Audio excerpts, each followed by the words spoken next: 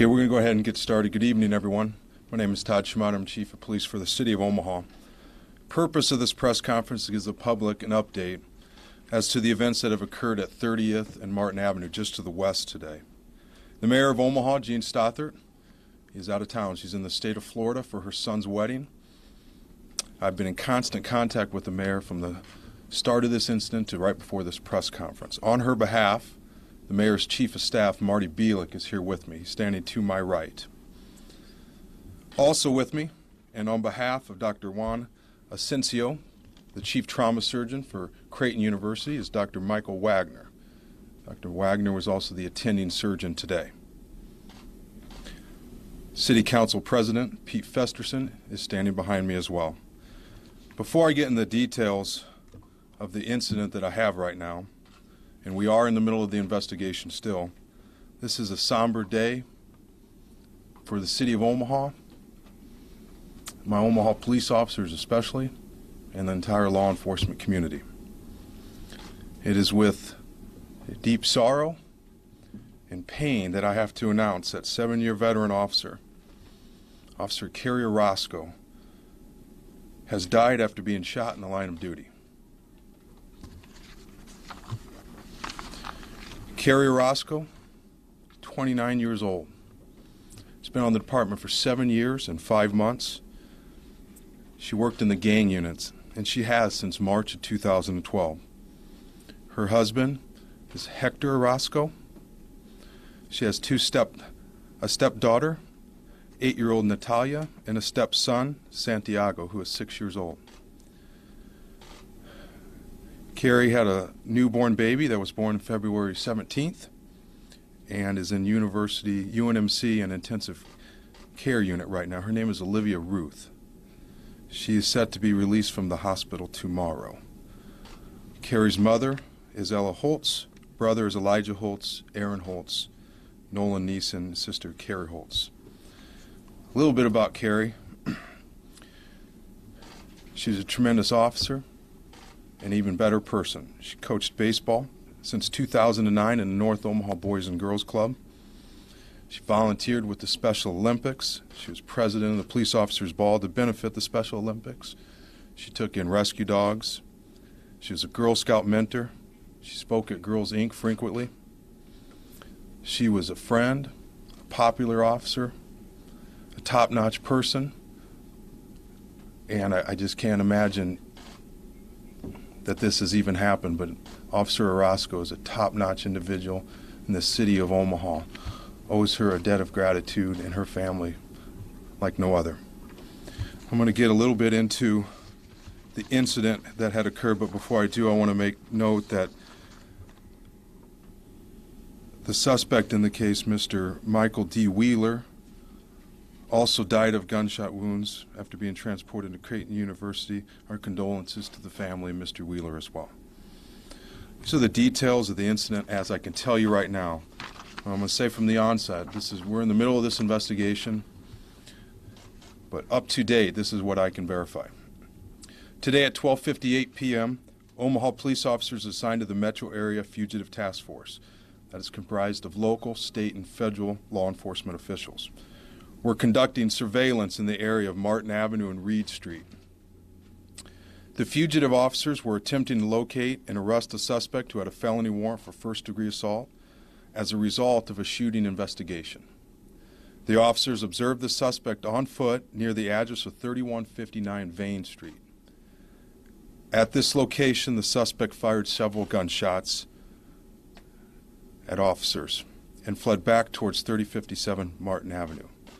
An Omaha police sergeant and two officers assigned to the fugitive task force confronted the suspect in the back of 3057 Martin Avenue.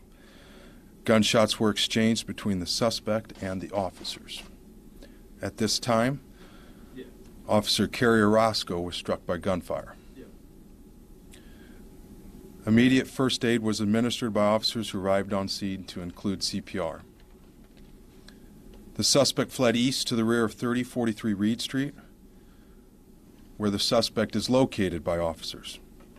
The suspect was suffering from gunshot wounds when the officers located him. Officers also located a semi automatic handgun with a high capacity drum magazine near Mr. Wheeler's body.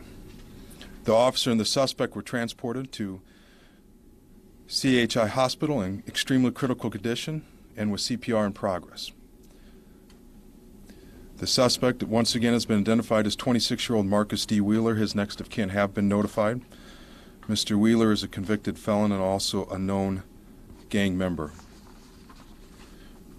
I want to be clear that we are nowhere near the end of this investigation. Matter of fact, it has just started.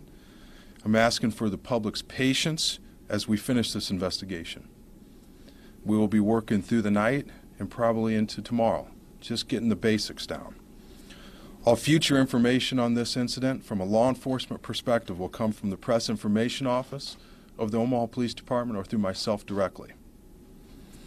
Right now, my greatest concern is with my officers and their families and the integrity of this investigation. At this time, I'm going to turn the podium over to the Mayor's Chief of Staff, Marty Bilek.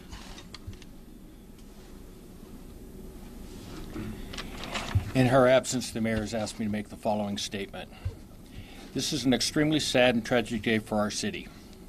I offer my sincere sympathy for the Orozco family and Wheeler families impacted by today's events. Officer Kerrie Orozco gave her life for all of us in her service to Omaha and the police department. She will be remembered and missed as a loving wife, mother, daughter, and dedicated officer. I thank Chief Schmaderer for his thorough communication with me this afternoon. Omaha is a compassionate community. Omaha police officers put their lives in danger every day as they protect and serve the citizens of Omaha. Officer Orozco will be honored by the entire community for her service and bravery through our prayer and our continued community support for all police officers. Thank you. Dr. Wagner? Thank you so much. I'm Dr. Mike Wagner. I'm one of the trauma critical care surgeons here at Creighton University Medical Center. I'm speaking on behalf of Dr. Juan Asensio, who is our chief of our trauma division here, who unfortunately could not be with us today. He's currently in Rome, where he is receiving recognition for the work that he's done in the field of trauma over the past 20 years. A little after 1,300 hours, the uh, team members of the trauma uh, service here at Creighton University Medical Center received information that the Omaha EMS services were transporting two patients in critical conditions to our trauma center. Two teams were immediately mobilized and were ready to treat these patients upon their arrival in the trauma bay here at Creighton University Medical Center. In spite of our most valiant efforts and aggressive care and therapy, these patients were unable to be uh, be resuscitated, and they expired after a long uh, effort at resuscitating them. Thank you.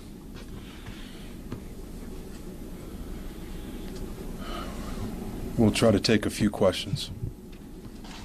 Chief Chairman Maxwell. Hi, Jeremy. Thoughts and condolences for the forces lost today. Thank you. But Chief, talk a little bit about your message to your men and women, because we've seen them guarding the scene all day. Obviously, they're very active at 30th and Martin. They have not had the chance, very likely, to process what happened today because they're still on the job. What has been your message to the men and women who report to you?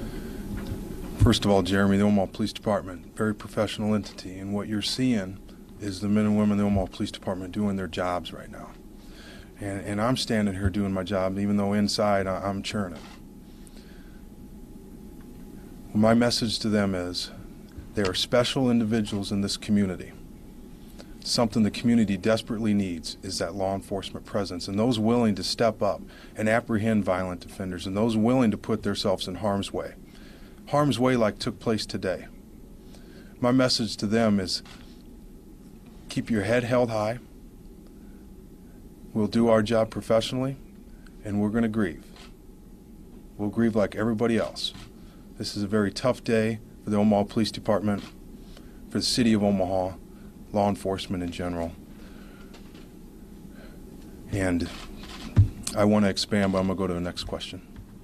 Chief, was this considered a routine warrant being served, or was this uh, suspect suspected to be more violent than anticipated? Generally, as a, as a rule of thumb, our Metro Fugitive Task Force is a higher level fugitive unit. They go after the worst of the worst. And Mr. Wheeler did have a warrant for a shooting, a previous shooting in the city of Omaha, so that categorizes very, he's a very dangerous individual based on that warrant. Warrant issued by a judge. Chief Christina with Channel 7. We talked to several community groups today who I think have appeared that this may strain police-community relationship. What's your reaction to that? Do you think it's going to put a strain on that relationship there that's they've worked so hard to establish? No, I don't think so at all. I think Omaha is a tremendous community. I've said all along that North Omaha, hmm? tremendous community. And we're going to work through this issue with the community side by side. That's why we're here right now, to give as much information as we possibly can. Remember, I said future information will come from me, and we'll get something out tomorrow as to this investigation unfolds. But the community should be very confident in knowing that we're doing our jobs professionally, we're overseeing this investigation, and even though we're grieving to know, like no other right now, we'll maintain that professionalism and do what we need to do. Next question. It's it's a little bit hard to hear when you're talking on your phone when I, when questions are coming at me. Please. Any, I'm going to take one more question. What did you say to her family? What I said to her family, I'm going to leave between me and the family. The family's grieving right now. If if the media wouldn't mind just giving them some space right now. Obviously, it was the worst case scenario for them, and they they've reacted with a lot of pain accordingly because of that. But I like to keep what I say to the families very very quiet. And I'll get you with a question just because you you asked, and then we'll move on. Chief, the police community is much more than just the, the officers. Um, we've been seeing a lot of support coming from the community all over Twitter and Facebook and stuff like that. Um, what words do you have, whether it be from other officers throughout the metro or for, for people supporting and doing that hashtag Yeah. support blue? Your community is Omaha Police. We're part of your community. We represent the community. Just like the media represents the voice and the, the earpiece of the community, we're, we're that we're the protectors for the community. We are the community. That's why I don't feel that this will cause any negative police community relations. I think you'll see the city of Omaha band together. Look for the outcome of this investigation and support the Omaha Police Department and certainly support Officer Orozco for her sacrifice and what has taken place. I'm going to I'm to close with just a, a thank you to the city of Omaha. Thank you to the media for coming here right now. You've always been great representatives of the citizens and on behalf of CHI Health, the mayor's office, and Omaha Police Department, I want everybody to have a good evening. Thank you.